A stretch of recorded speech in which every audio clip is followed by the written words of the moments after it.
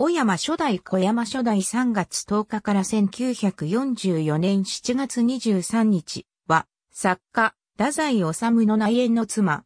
芸者としての名は紅子。太宰からは、初子と呼ばれていた。ヒューマンロストや、ウバステや、東京八景など、多数の太宰作品に登場する一連の女性のモデルとなった。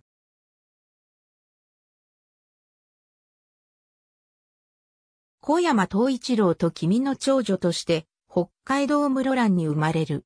1922年、父が失踪したため、母子家庭となり、一家で青森に移住。母は、沖屋、野沢屋で、裁縫師として働く。1925年3月、南津軽郡大兄町の大兄尋常小学校を卒業し、母の勧めで、料亭、玉屋西小右として住み込むようになる。1927年9月、客の一人で当時旧制弘前高等学校の1年生だった津島修二と馴染みになる。1930年9月30日、太宰の教唆により、玉の矢野から出本して上京。東京市本宿、東駒型で太宰と同棲する。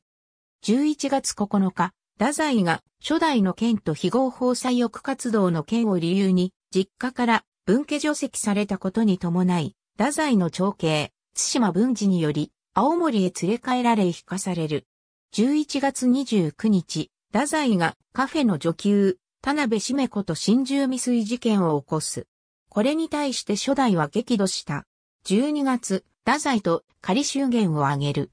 ただし、津島家の意向により入籍は許されなかった。1931年2月、再び上京し、太宰と共に品川区五反田にて新書体を持つ。以後、翌年7月まで太宰に従って、川崎宗氏という偽名のもとで非合法左翼運動に関与。1936年、太宰が薬物中毒治療のため、武蔵野病院に入院。この間、太宰の義弟と貫通を犯す。1937年3月初旬、太宰に貫通が露見。太宰からの指針の一節を誤解した小立が、すでに貫通が露見しているものと、早が転し、初代との関係を太宰に告白してしまったことによる。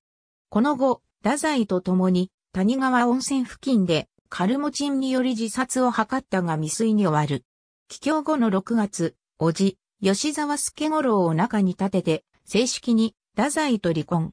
太宰から選別30円を受けて、青森に帰郷し、青森市郊外の浅虫温泉で家業の魚屋を手伝う。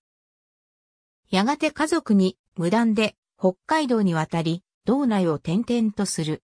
この時期、処女と偽って若い男と結婚したとの説もある。